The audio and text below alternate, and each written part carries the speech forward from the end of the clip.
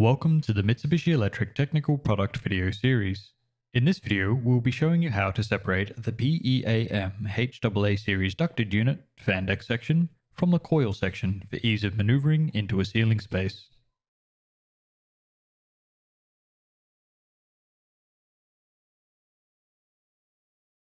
The recommended tools you will need to make the separation process as smooth as possible are a cordless drill, Manual hand tools can also be used. A 450mm extension bit will make reaching the required screws far less cumbersome than trying to reach inside the fan assembly box. A 5 16th inch Tek or nutsetter bit, a Phillips head bit or Phillips head screwdriver, and a small flat bladed screwdriver to assist with loosening the mounted zip ties. For shipping, the two 400mm diameter return air spigots have been reversed on the unit. In order to separate the unit, these two have to be removed. They can then be reinstalled in the correct orientation once the indoor unit has been installed in its final position.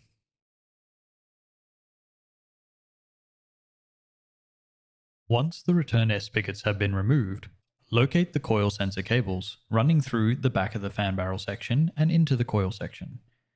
Trace this cable back through the side of the return air box and to the PCB electrical panel. You will need to remove the electrical cover panel in order to access the PCB and the sensor plug, by loosening the screws and lifting the cover up and out. Once removed, locate the sensor plug in CN44 and disconnect the plug from the PCB, and feed it back through the rubber grommet in the side of the return air box.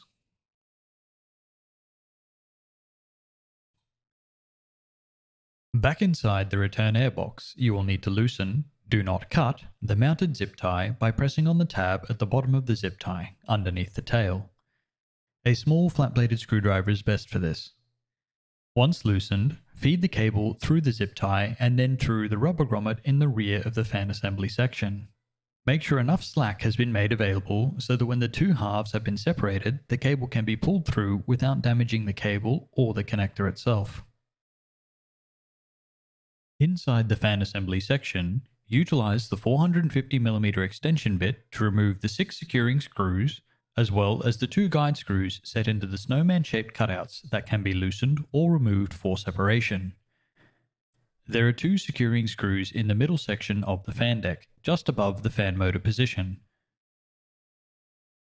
On the right hand side there are two securing screws, one at the top and one at the bottom and one guide screw in the snowman shaped cutout that can be loosened or removed for separation.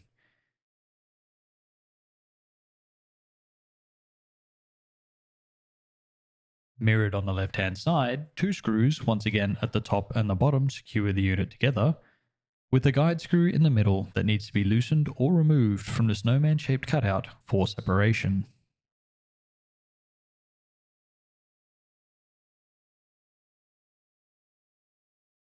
Once these steps have been completed, the two sections can be separated. Lift the fan barrel section of the unit so that the snowman shaped cutouts larger sections are over the screws, ensuring that as the sections are separated, the sensor cable is not being pulled or getting caught on the plug top. The individual halves can now be maneuvered into their final location independently.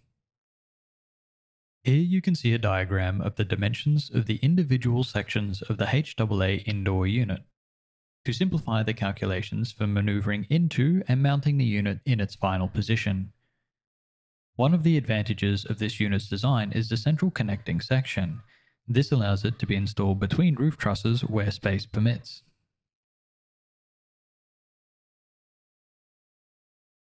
To reassemble the unit, simply perform these actions in reverse.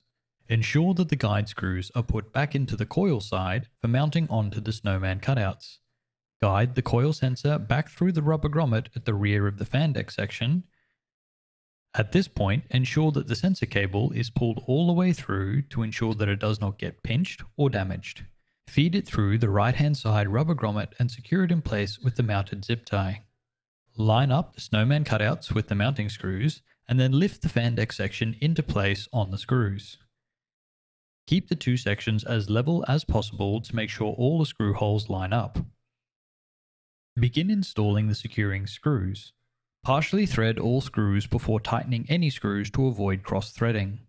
Once all screws have been threaded partially, then completely tighten them all down. Plug the coil sensor back into the PCB and re-secure the electrical panel. Then reattach the return air spigots in their correct orientation and the assembly is complete.